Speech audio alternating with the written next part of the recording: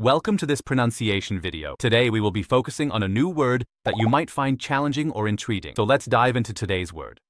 Zhen, which means pillow in Chinese. Let's say it all together. Zhen. Zhen. Zhen. One more time. Zhen.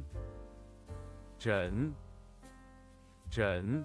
Thank you for joining us on this adventure in pronunciation. Remember, language is a journey, not a destination. Keep exploring, experimenting, and expanding your linguistic horizons. We'll see you next time.